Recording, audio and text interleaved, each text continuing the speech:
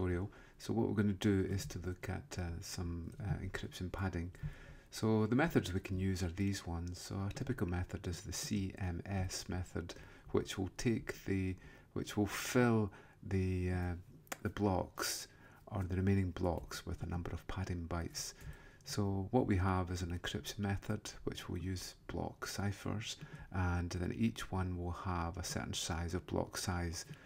A typical one for AES is 128 bits or 16 bytes. So here's an example here. Okay, so there's the there's the padding bytes there. So 68 is an H, there's an E, L, L, O, and there's the padding bytes there. So let's have a look to see if we can work that out. So we've got 128-bit blocks. So how many uh, how many bytes do we need to be able to fill those? Well, that's uh, if we divide by four, we get 32 hex characters and two hex characters per byte, so it's 16 bytes. Okay, so we end up with 16 bytes. So here's the positions of them, B, C, D, E, F. And we're filling up H, E, L, L, O, and then 1, 2, 3, 4, 5, 6, 7, 8, 9, 10, 11. Okay, so we have 11 padding bytes. So 11 in hex is 0B. So that's the reason that we end up with uh, uh, uh, a plain text of this. So what happens when we increase the size, we can see there we burst into another another block. Okay, but we'll just take hello and hello one two three.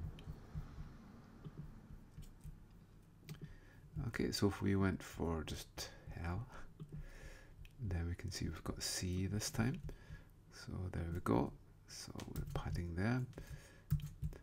So this time we would have 12 or 0, 0 C. Okay, so that's the way that the padding works. So the characters will generally fill the values. So if we had hello, hello, hello, we're just going to have one padding value there. And there we go, 0, 1 at the end. Okay, so that's the way that the, that the padding actually works. We can do other things like uh, we can we can pad with a, a 80 hex or with nulls, spaces and, and so on. So we'll just go back to our tutorial and we'll make a start. Okay, so for AES with 256-bit key, what's the normal block size in bytes?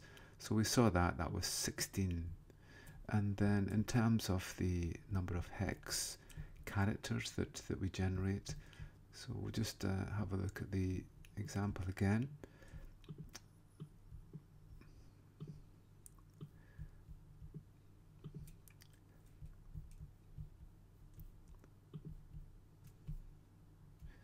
Okay, so there's there's our there's our cipher then. Uh, we can you can call you can count the number of characters there. But basically we get six bits, six bits for every every hex value. So if we went for 128 divided by 6, we're going to have 21 characters and a little bit left off.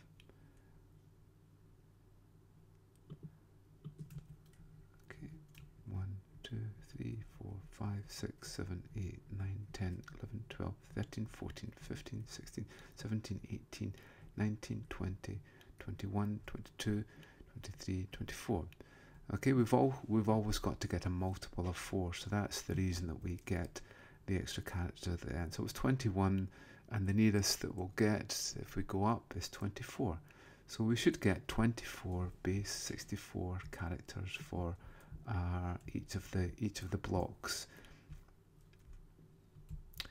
Okay, so now we'll have a look and we'll try a message of kettle and oxtail. So let me see if I can just just copy and paste this one here. Let's just go to the page. So it's encryption padding and this is AES that we're using. So we want the message of kettle and oxtail. So kettle and oxtail. And there we go. So there's the there's the cipher text in hexadecimal here.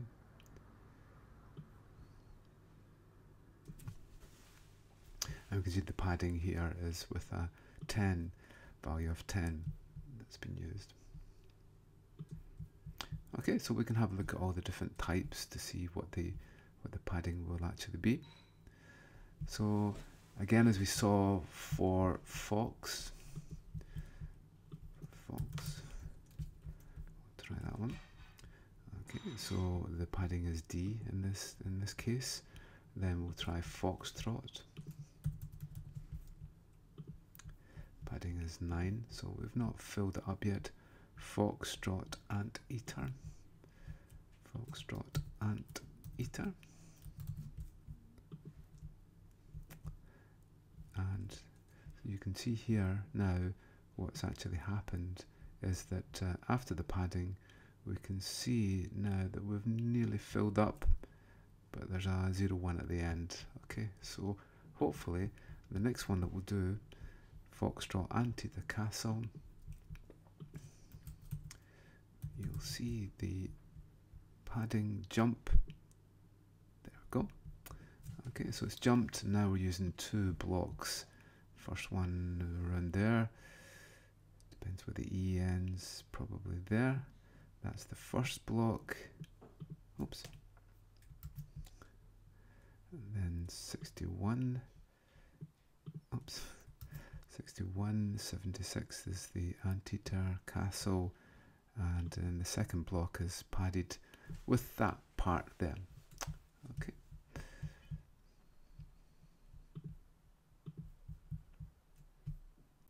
Okay, so those, the first three, really just fill the, the first block, and then when we get to Foxtrot Anteater Castle, it should be double that, the size there. Okay, so with n characters in the string, how would you generalize? Well, obviously it, uh, it will go to 16. So for every 16, we'll have one block full. Okay, and then with, with DES, DES, you should find that uh, link for that one.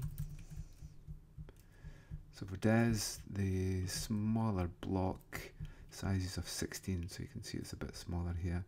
So we're padding only with 3 this time uh, because we have a 64-bit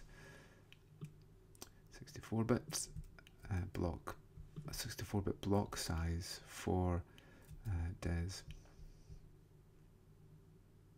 Which should give us 16 characters, 16, 8, 8 characters so there's five, and then that's why we add another three. So this time with with DES, with we have a 64-bit block size, which is 16 hex characters and 8 bytes per block. So this time when we when we fill 8 there. So there's hello, 1, 2, 3. Okay, so that's the reason that we get the 0, 3 at the end. Okay, so if you do the same again for that one, that, that will give you an idea of how DES works. Now what to do is to download this uh, this little Python script here and what we'll do is that uh, we'll actually run the code that we've been using to be able to do the padding for us. So I've got it here. So I'm just using Windows, but you can use Linux. And there we are. So there's the code that, that we have. So there's a little encryption uh, module and there's a, a decryption module. So basically what happens is that we're taking a key, we're taking a hash of the password and then what we're doing is that uh, we're determining the plain text using the padding method that, that we're going to use. There it's there. And we'll display that and then we'll show what the encrypted ciphertext is and then we're going to decrypt it. And we'll show that for each of the different types. Okay, so you can put in the values here within the Python code, but what we'll do is we'll, we'll set it up so that we can actually we can actually enter the values. So the first thing we're going to do is we're going to pass in the parameters from the command line. So here we are. So we'll just copy that and we'll just paste that in. So we'll paste it in somewhere here.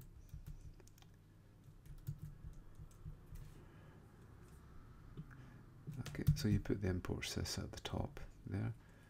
Done that. So okay, so we need to do our indenting a little bit.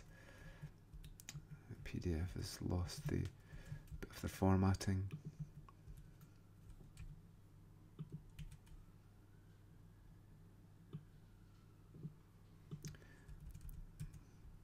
Okay, so that will take the first argument and put it into val, which is our message, and it'll take the second argument, which is the password, and and put it into the variable password. Okay, so let's give that a try.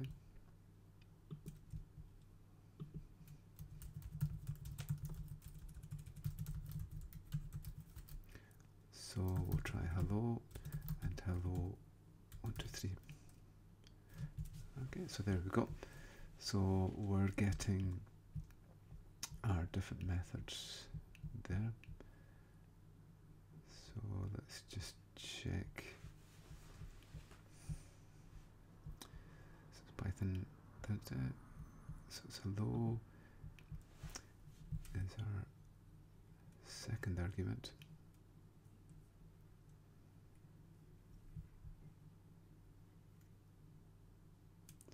That's fine. So that's our value that we're encrypting.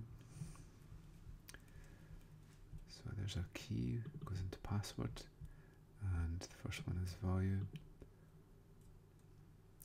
That's fine.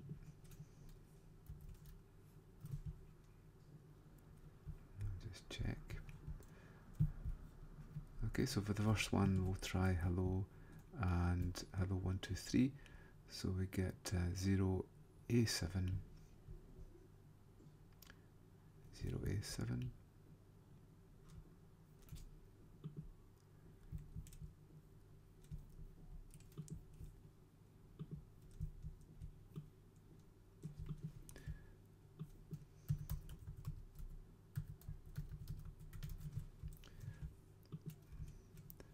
Zero a seven, zero a seven, and zero d. So okay, so that's that's working fine.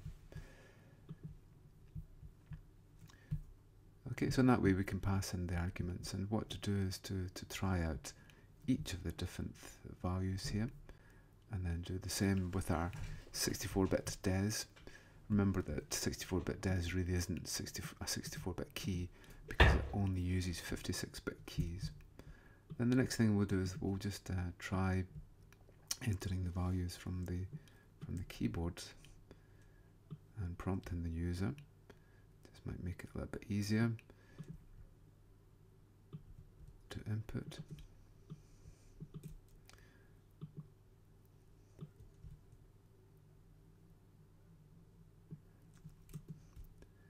Just copy that.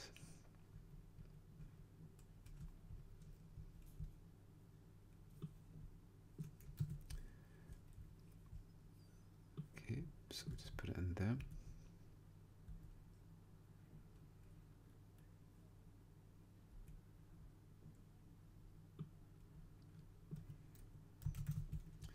Okay, so there's the value.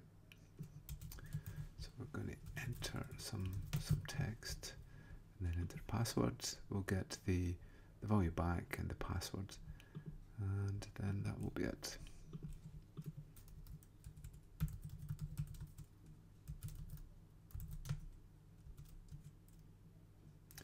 Okay, so try again. Hello and hello. One, two, three, and that's working Okay so, so we're getting uh, the correct value from, from them. Okay, so for the next one, what we'll do is that we'll actually do the reverse of it. And uh, what we'll do is that we'll get some, some ciphertext and a key, and then we'll work out what the plain text is. Okay, so I'm going to just quickly cheat a little bit here. So this is the Python function that would, that allows you to to convert from a hex value hex string into a, a byte array. So the byte array we'll use to be able to uh, decrypt uh, the the actual cipher. Okay, so I think I've already got that one set up, so I'll just show you what that looks like. Okay, so we're going to input the cipher in hex. We're going to take the password and then what we're going to do is convert it into a byte array, convert the ciphertext into a byte array, and then convert that into our plain text. So we'll give that a try. Okay, so I've set up some countries here of the world. Let's give it a try.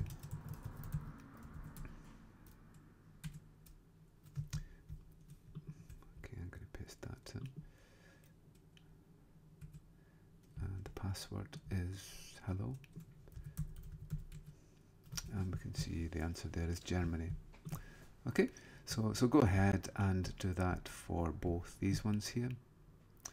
And then in the end, there are some reflective answers for you if you just go ahead and have a think about those ones. Okay, so that's been an overview of uh, using padding in encryption.